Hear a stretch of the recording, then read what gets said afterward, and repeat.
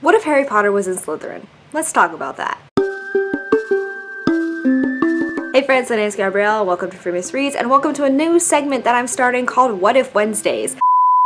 Basically what this is going to be is me taking iconic moments in certain books or series and changing them. So for example, what if Harry Potter was sorted into Slytherin? Now I'm not going to go through year by year with Harry Potter and analyze all the different ways that this would be different because then I feel like this video would be half an hour long. If you guys do want that, then please let me know because I have notes and I could probably do something like that. So let me know in the comments below if that is something you want after you see this video. But I'm just going to talk about the most important things that I feel like would change if Harry had been sorted into Slytherin. I feel like Harry's personality altogether would not have been changed as much by going into Slytherin. I feel like he would have learned a little bit more self-control. Slytherins are cunning, so he would have thought more through his actions, but he would still have that bravery. He would still want to help other people. He would still essentially be Harry. He would just be a little bit smarter about it and wouldn't rush headlong into danger. So I the Golden Trio. I feel like Ron has a lot of prejudices towards the Slytherin house and it would be really difficult for him to let them go even though Harry is the boy who lives. I feel like that would be a rocky beginning for them. Hermione on the other hand, Harry and Hermione don't start developing their friendship until she is saved from the troll in the bathroom. Since Harry is no longer in her house, he may have not even known that she was in the bathroom. It's most likely that he would not be one of the ones who would rush to save her. That would have been a big dynamic change. I feel like Harry would have also not been Draco's friend, but they would have gotten along better. Draco would want to be Harry's friends just for influence and power, but eventually I feel like they would actually end up becoming friends. So, Slytherin House is always seen as this evil house that's always associated with the dark arts. With the boy who lived being sorted into that house, people would either freak out and feel like Harry is the next Dark Lord, or people would be forced to reevaluate their opinions that they have on the Slytherin House. It would give them a better chance to intermingle with the other houses who may have looked down upon them beforehand.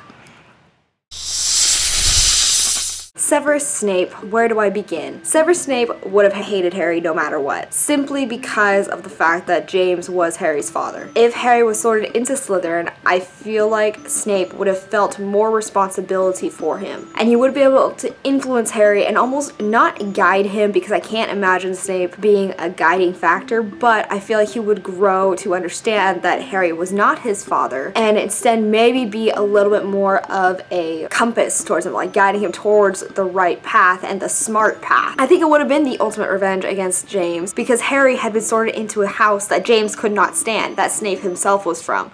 So...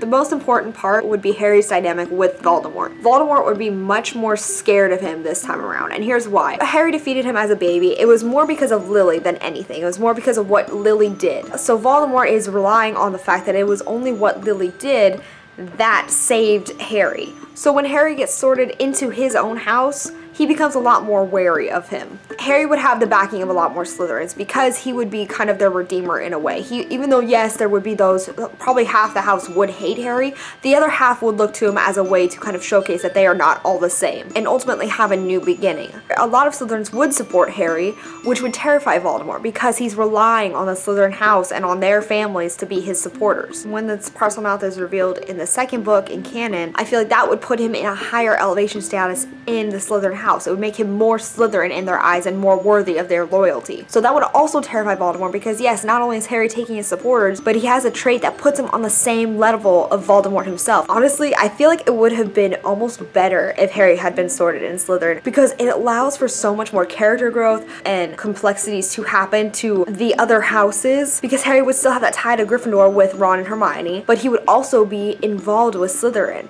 and he would have the chance to bring these houses who are enemies together. Let me know what you guys think of this video in the comments below. Let me know if you guys have any ideas for what other books I should try and analyze in the future. If you guys haven't seen my latest video, then make sure you stick around. I'll be playing right after this. If you guys haven't already subscribed to my channel, make sure you do. I try and upload bookish videos twice a week, but that is all that I have for you guys today. So thank you so much for watching, and I will talk to you guys later. Okay, bye. Matoa by Joylene Nowell Butler, whose name I took six times to pronounce.